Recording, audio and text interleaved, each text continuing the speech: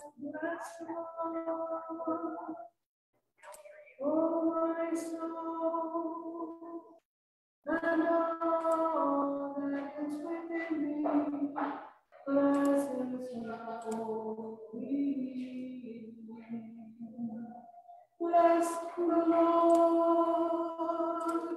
Oh, my soul,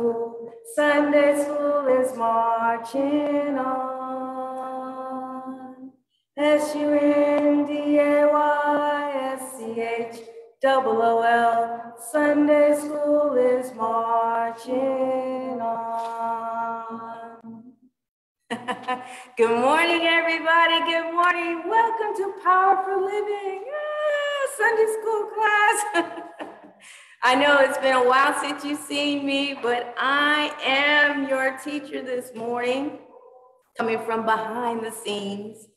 Um, we are the Powerful Living Sunday School class here at Imani Temple Church of God in Christ in beautiful Temecula, California. We are in our fellowship hall, so I'm looking around at everybody in the fellowship hall. And yes, we're live on Facebook. And later on today, we will be on our YouTube channel, ITT Sunday School. Our pastor and teacher is none other than Superintendent James Mason. Our assistant pastor is Elder Dwayne Solomon. And our superintendent of Sunday School is none other than Otis, Elder Otis Bryant. Today is February 13th, and I am Sister Tiffany Greenwood. Our subject for today is free from law through Christ. I'm giving you some time. It's to grab your Bibles, tablets, laptops, whatever, because we're going to be in Galatians chapter 3, verses 1 through 14. Our Bible truth. We have to put our trust in Jesus Christ, who sacrificed his life on our behalf. The law cannot, the law cannot save us. Only faith in Christ. Our memory verse is in order that in Christ Jesus, the blessing of Abraham might also come to the Gentiles, so that we would all receive the realization of the promise of the Holy Spirit through faith. And that's going to be Galatians chapter 3, verse 14. And I have read it in the Amplified Version. Our lesson aim by the end of the lesson, we will understand Paul's contrast of faith in law versus faith in Jesus, feel loyalty to Christ, and demonstrate faith in Christ daily. Life need for today's lesson, we will trust in Christ alone for our spiritual growth. Bible learning to understand that works of the flesh will not help anyone grow in the Lord. Our Bible application to learn to seek a closer walk with the Lord for spiritual growth. Our thought to remember we are to trust in the Holy Spirit, not in deadly legalism for spiritual growth. Heavenly Father, we ask, well, first of all, Heavenly Father, I'm not asking for anything. I am just grateful. I am thankful for waking up this morning. I am thanking you, Heavenly Father, for waking us all up this morning, for giving us an opportunity to glorify and to magnify your holy and righteous name. Because today is the day that you have made, and we shall rejoice and be glad in it. Heavenly Father, Help me to help your people understand today that we are not to live by the law, but we are to live by faith. In Jesus' name, we pray. Amen. I'm so excited today, everyone, because I, I, I don't know if some of you remember or not, but my favorite holiday is Resurrection Sunday. And this lesson is tapping right into it. I'm super, super, super excited. Super excited. So let's go into the verses. Today we are reading from the Amplified Version. I did receive permission from a superintendent of Sunday school um, because I wanted to ensure that we all understood what God is trying to tell us instead of getting caught up in the thous and the those and the I want us to understand. I want us to have a good understanding today. Because remember, I said it's tapping into that whole Resurrection Sunday thing. And so I don't want anyone to be confused. So let's get started. Galatians chapter 3, verse 1. You foolish and thoughtless and superficial Galatians, who has bewitched you that you would act like this? To whom? right before your very eyes. Jesus Christ was publicly portrayed as crucified in the gospel message. Verse 2 This is all I want to ask of you. Did you receive the Holy Spirit as a result of obeying the requirements of the law? Or was it the result of hearing the message of salvation and with faith, believing it? Verse 3 Are you so foolish and senseless, having begun your new life by faith with the Spirit? Are you now being perfected and reaching spiritual maturity by the flesh? That is, by your own works and efforts to keep the law? Verse 4 Have you suffered so many things and experienced so much, all for knowing if indeed it was all for nothing. Verse 5. So then, does he who supplies you with his marvelous Holy Spirit and works miracles among you, do it as a result of the works of the law which you perform, or because you believe confidently in the message which you heard with faith?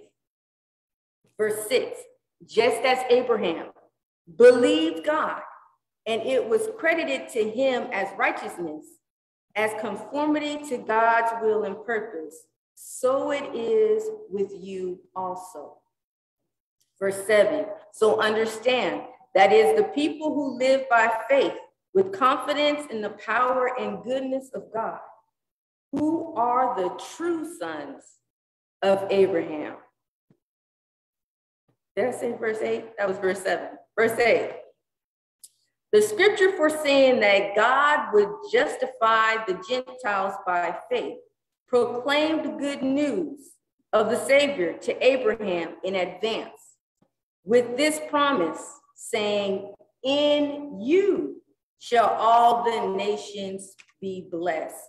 Verse 9 So then those who are people of faith whether Jew or Gentile, are blessed and favored by God and declared free of the guilt of sin and its penalty and placed in right standing with him along with Abraham the believer.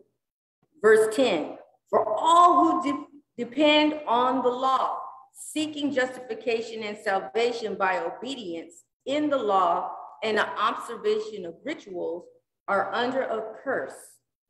For it is written, Cursed, condemned to destruction, is everyone who does not abide by all the things written in the book of the law, so as to practice them. Verse 11 Now it is clear that no one is justified, that is declared free of the guilt of sin and its penalty, and placed in right standing before God by the law. For the righteous and the just, the upright, shall live by faith. Verse 12, but the law does not rest on or require faith. It is nothing to do with faith, but instead the law says, He who practices them, the things prescribed by the laws, shall live by them instead of faith. Christ purchased our freedom and redeemed us from the curse of the law and its condemnation by becoming a curse for us. For it is written, Cursed is everyone who hangs on a tree, who hangs crucified on a tree, the cross. Verse 14, in order that in Christ Jesus the blessing of Abraham might also come to the Gentiles, so that we would all receive the realization of the promise of the Holy Spirit through faith. Amen. I am super excited to talk about this lesson today because um, all of the teachers from this year have been setting this lesson up. And I hope that you were able to listen on last week because the teachers of all teachers, Elder Madison Farah, she led us to this. I mean, she set us up pretty for this because we actually had multiple teachers that were talking about false teachings. This is the lesson. So go grab, get your Bibles, get your books, get the family, because we're digging in today. We're digging in today because what was going on and why Paul had to make some clarifications is because of false teachings. Okay, this is why he was talking to the Galatians because for some reason they started to believe in false teachings. So we remember who Paul is, right? Paul, his original name was Saul, and he had was making his little trip on Damascus Road, right? And he kind of sort of met Jesus, got slapped blind off of his horse and everything. Saul was a persecutor of Christians, okay? He's a persecutor of Christians. He hunted them down to torment them, put them in prison, okay? But Saul wasn't just any old type of person. He was educated, extremely educated. Well, I, I think Elder Madison Farah, you said that he spoke how many languages? A lot. He was well studied and versed in the Pentateuch, which is the first five books of the Bible. He knew it backwards and forwards. He was taught at the best university of his time. So Paul's no idiot, right? Okay, so he kind of knows what he's talking about when he talks to the Galatians because he was Saul who believed in and was teaching, you know, those false teachings. He was doing that. And then God steered him in the right direction and he stayed on straight street, right? So he's talking to the Galatians right now because they start on Straight Street. How did they end up on Damascus Road? Okay, so this is what we're talking about. So the Judaizers were Jewish Christians who believed that ceremonial practices of the Old Testament were still in effect in the New Testament. Doesn't it sound familiar? Somebody comes, there's a new teaching, there's a revelation. Jesus lays down the law and says, All of that right there, you weren't able to do it. I am the sacrificial lamb. I am the anointed one. I am the Messiah. I have come so that you may be truly saved. And guess what? You don't have to focus on this law anymore. But remember, we were talking about how the Judaizers, they had taken the 10 commandments. And I think it was you, Elder Madison Farrar, that said that they've taken the commandments and then they wrote these books. That's an S, you guys. Books on all how what God really meant when he gave these 10 commandments. And these are the rules that you really have to abide by. Is that what God said? When he gave the 10 commandments, did he give two tablets of 10 commandments or did he give books? Right? But because they're so educated, they just know that this is really what God meant. Um, newsflash Jesus Christ is 100% man and 100% God all by himself.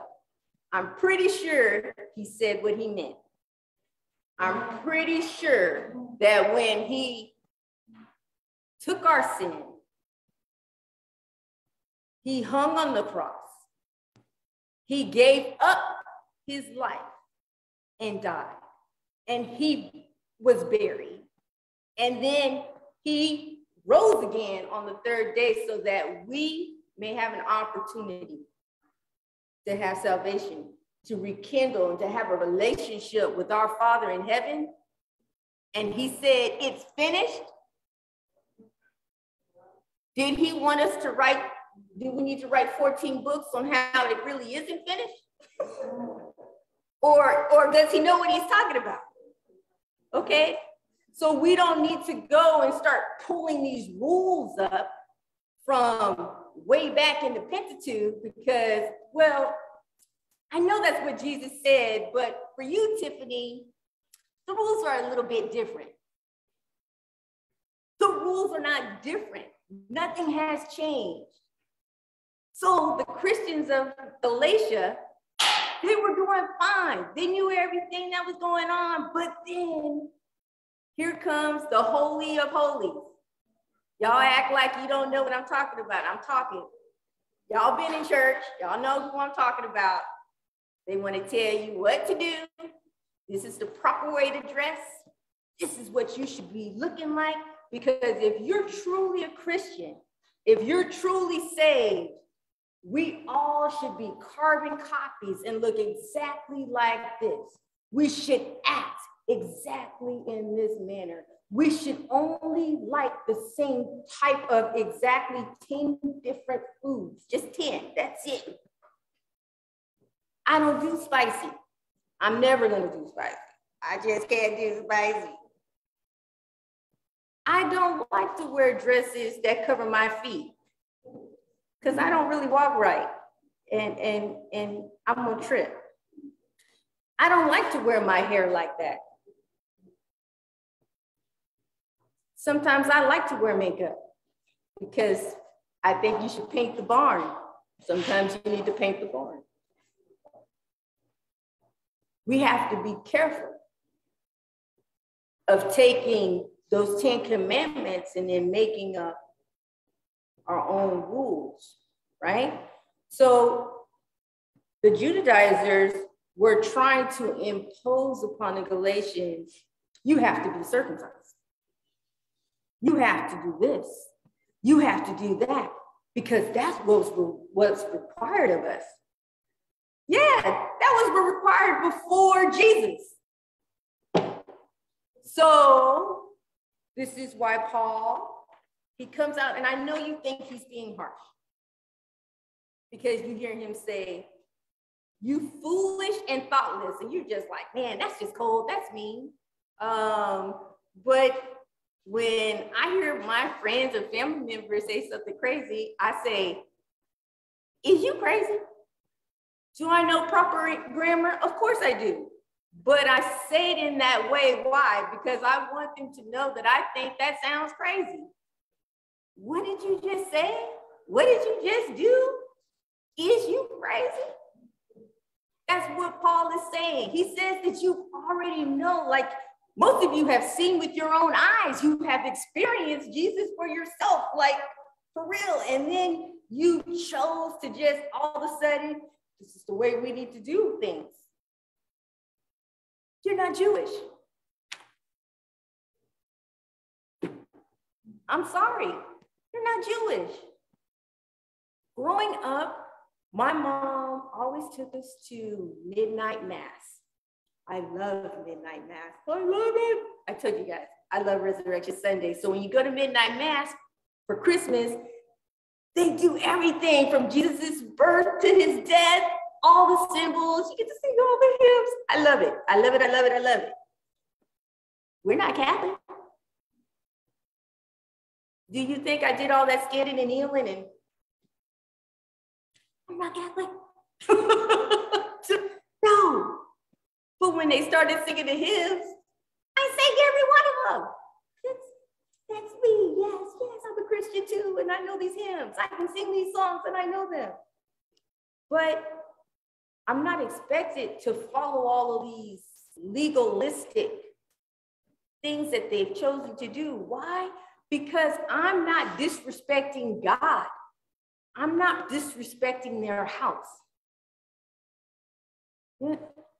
We have to be careful getting wrapped up in appearances and how we things should look and how things should sound and how because you sound foolish because listen to what paul tells them you sound foolish thoughtless and superficial uh, in a nutshell, you sound crazy. You is crazy. right? Why are you doing these things when you know better, you've seen better? When you know for a fact you've been taught the right way, you know of the right things, right? Legalism is what's getting us in trouble now. Just look at the world now. Every time you turn on the TV now, every time you read an article or it's a form of legalism, false teaching, adding things to God's word that he didn't put there. We have to know the word for ourselves. That's why I wanted you to specifically read it in the Amplified so that you weren't getting caught up. No, this is what Jesus said. The Galatians knew they had not received the Holy Spirit by obeying the Jewish laws. Remember, I told you they started on Straight Street. They knew exactly how they came by salvation. They knew that they came by salvation by accepting that Jesus Christ died on the cross, right? For their sins. Believing he died, he was buried, and then he rose again on the third day. And confessing, right? With their own mouth that they're sinners and they need to be saved. They did that right off the bat and started on Straight Street. Who bewitched you? Who made you go on a different path? What are you doing over there?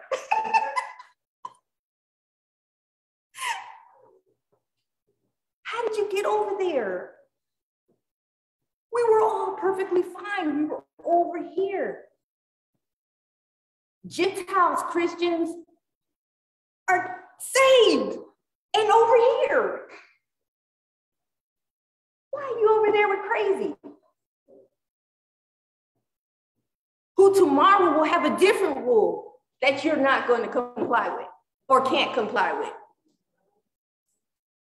I mean, because if you could just start making up books, you mean to tell me that they weren't just making up other stuff on the fly?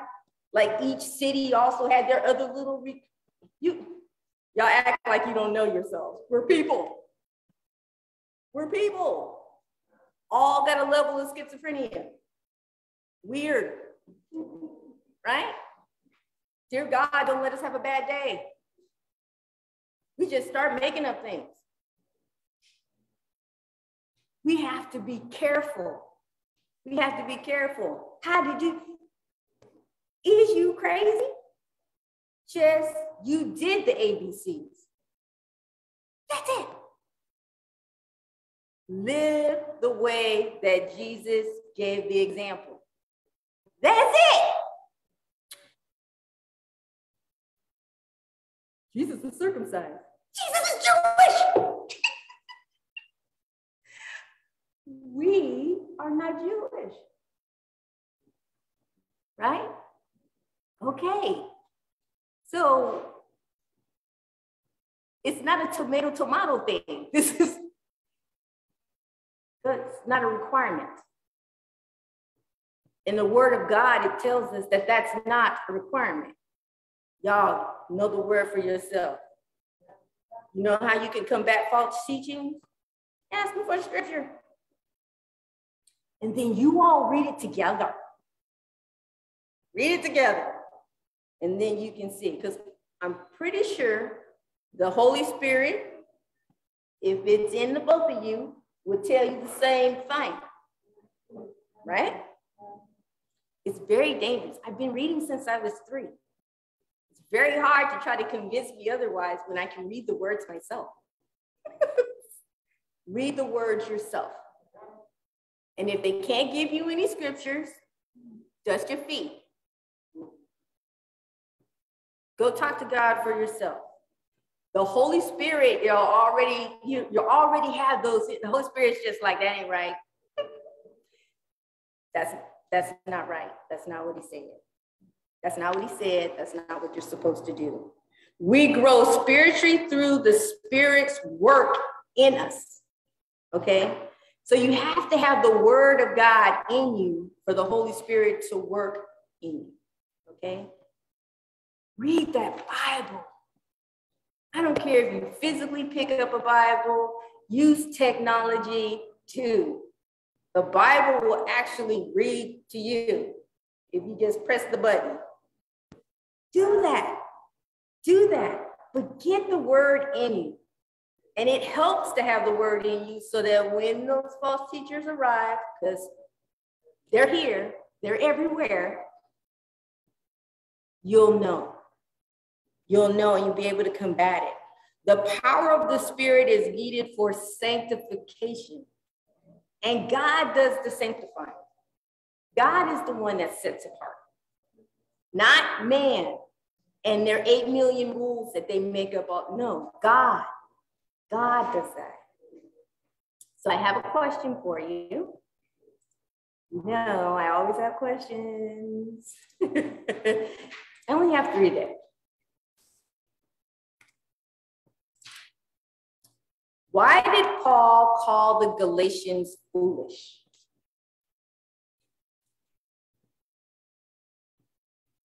They foolishly believe that having received salvation through the Spirit, they now depend upon obedience to the law. Yeah, I mean, that's, you know, the answer, right? But the root cause was they were following people. People got them off on a whole different path. They actually chose, right, to listen to somebody else. They knew the right way. They knew they were on straight street. They were doing the things that Jesus had told them to do. They were following his way. And then all of a sudden, Somebody told me I needed to do this. Um, we need to stop getting wrapped up in what somebody said and what they said.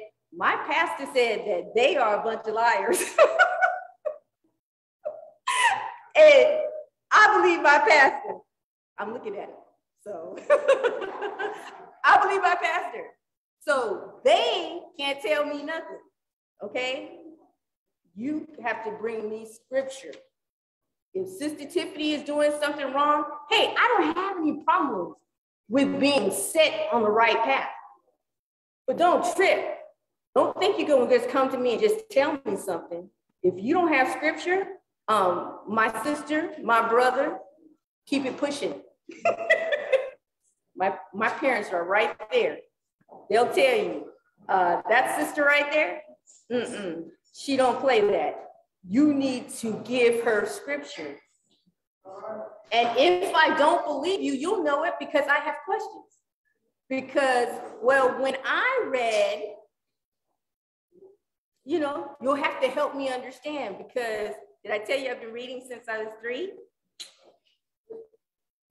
Come on, you're gonna have to work with me a little bit, okay? It had been at least 600 years before God gave Moses the Jewish law, okay? Abraham was the founding father of the Jewish nation. Paul reminded the people even as Abraham believed God and it was accounted to him for righteousness. The real children of God are those who put their faith in God. And I, I want to put a period there, but it's not a period there, but I just want to let that marinate. the real children of God are those who put their faith in God not the law.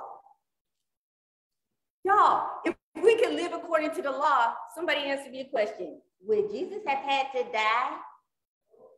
We all could have been Jewish because we all could have kept the law. Newsflash. Well, I have just one question.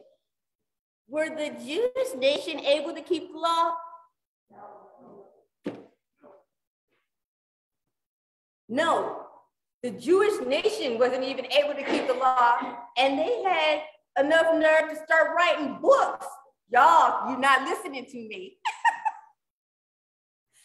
they couldn't keep the law and decided to make some more rules that they could that they couldn't keep themselves either. This is what Paul was telling you. He says, I know these people, I was educated with them. They crazy. Why are you over there? I know that they're crazy because I was chief crazy. Did he not say that he was a chief sinner? He wasn't just a sinner, he was good at it. So he said, I'm the chief sinner. So he knows crazy. So Paul was able to detect crazy and to tell you, hey, hey, I know you're not supposed to be over there. I know that doesn't make any sense. And he says, and you know it because you were on the right path. You saw Jesus with your own eyes. Some of you even followed him and watched him do miracles. Like, really? And how did you let crazy get you diverted and over there? Yeah, you only live once, but you don't have to live crazy. The true design of God from the beginning was for salvation to be offered to all nations, including Gentiles. If the Jews couldn't live by the own law in which they were given, they were handed, God had the divine plan. He's just like, you know, I could save them and everybody else too. I got you. God has us. God is the one that has us, not man, not ourselves. We ain't that smart. God is all powerful. God is all knowing. God is everywhere all the time. I am literally just sitting here in the fellowship hall at Imani Temple, Church of God in Christ, in Temecula, California. I am nowhere else. Physically, nowhere else. I'm in this one place. When I trip and I think that, you know, I'm doing something great, God reminds me, I have created absolutely nothing. Tiffany, you seem to be having a moment. So whatever you created, I'll let you go first.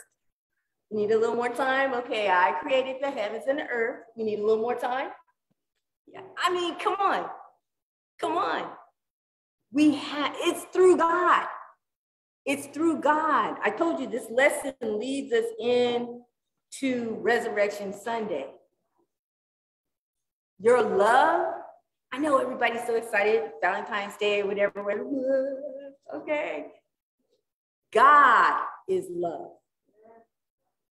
God loved us so much that he gave his only begotten son so that we may have an opportunity at everlasting life. Do y'all understand? By living by the law, we could never be with God. Our relationship was severed. There was no way for us to be with God. But when He sent His Son to die on the cross, and for Him to be buried, and then on the third day, He rose again. That's the bridge. That's why Jesus Christ is the bridge. He gets us back into relationship with God. That's love. That's John 3:16. That's for real, John 3:16. That's the good news. That's the good news. So tomorrow, you should be thinking and loving on God because he gets us back he gave us a way out from the beginning. It says the true design of God from the beginning was for salvation to be offered to all nations.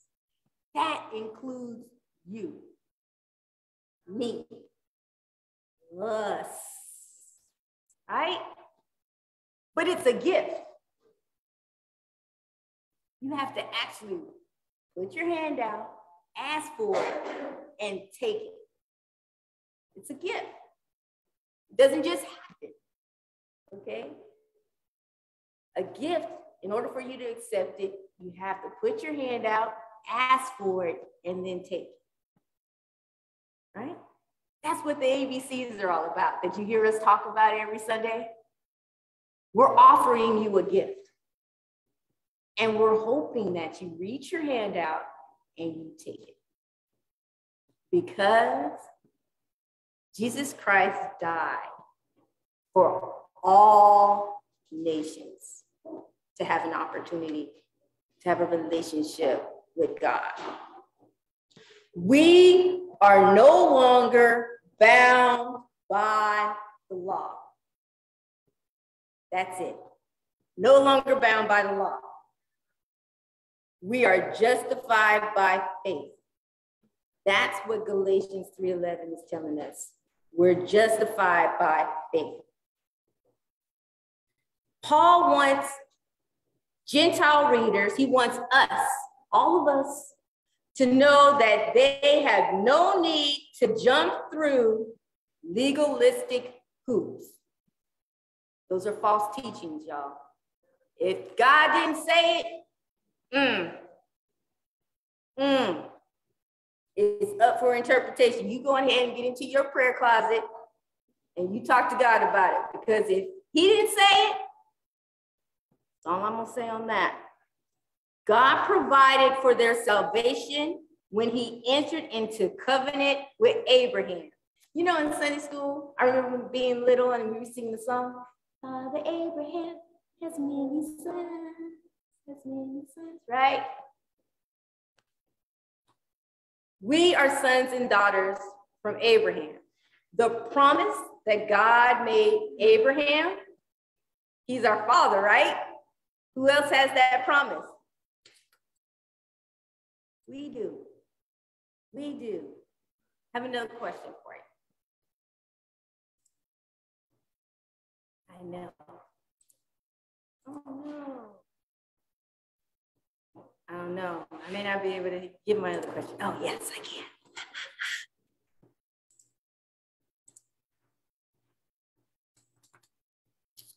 How do we become children of Abraham?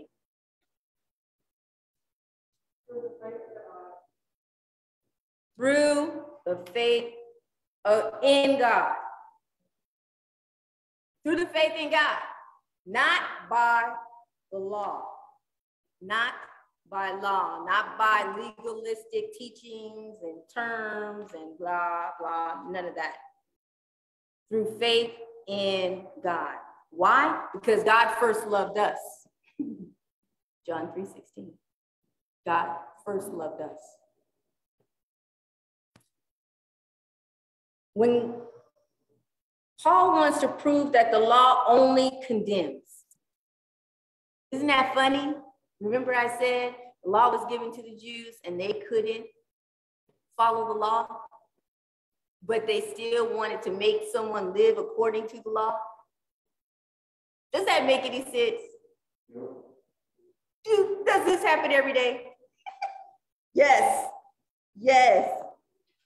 Okay. Everyone is condemned to death because no one can keep the law. Remember, it said that if you broke one of the laws, it's just like breaking all 10. Jesus fixed this, right? He's thinking he's fixing this he took the Ten Commandments and he did what? He gave us two. He said, Love thy God, love your neighbor. Guess what? We have a million books that tries to explain that. and It is two. He took the 10 and made them two. Y'all, love, love each other, love yourself, love God.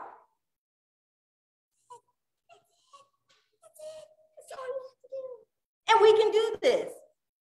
The law was temporary. It was a temporary fix. It was just setting us up. You got it. From my favorite holiday, Resurrection Sunday. Setting us up for Christ. Once Christ comes, the age of faith breaks in, and we do not need the guardian. No more. No more. We are saved by faith in God. We can fix our lives. We cannot. We cannot. I don't know why I said that. We cannot fix our lives on our own. We need God to help us. Stay connected to the vine. Stay connected to Jesus Christ. We can't do this walk without him. We can't. We need him. We can't do it without him, right? I also want to let y'all know we can't do it without each other. We need to learn how to stand in the gap for one another. When someone is trying to give you some constructive criticism and they bring the scriptures, hey, shake it off. Get off of Damascus and get back on Straight Street. Go where you're supposed to be. Let's all get to glory together. Let's encourage one another. Let's love on one another. Let's love one another. Love for real. Love for real. Because none of us can keep the law. None of us. Amen. I have just one last question. How did Christ redeem us from the curse of the law? He hung on the cross and died for our sins. Mama, you better tell it. That's, that's Mama Mason, y'all. that's right. That's right. He hung on the cross and died for our sins. He hung on the cross and died for our sins. And remember that tomorrow, everybody. Jesus Christ hung on a cross and died for our sins because he loved us. Yeah. Next Sunday is February 20, 2022. And our lesson is going to be on heirs to the promise. We are finishing up Galatians chapter 3, and then we're going into Galatians 4 1 through 7. If you have any questions, comments, or concerns, feel free to contact Elder Otis Bryant at Otis Bryant at imanicogic.com. Our superintendent would love to answer any questions and concerns and address any concerns you may have. As we've been talking about all day, you too can be a child of Abraham. You too can receive the gift if you A, accept Jesus Christ as your Lord and personal Savior. B, believe that he died on the cross, was buried, and on the third day, God the Father physically raised him from the dead. And C, confess that you are a sinner and Jesus is Lord. He is the Christ and Savior who can forgive you of your sins. Heavenly Father, we thank you for this opportunity and for the reminder that you first loved us. And we are grateful, Heavenly Father. We are grateful that you had were willing, we're willing, Heavenly Father, to provide us a way of escape by giving us an allowing your son, your only begotten son, to die on a cross for ours. Thank you. And we ask that you protect each and every one of us as we go about our weeks. In Jesus' name we pray. Amen. Amen. There's a praise in the temple. It's service time.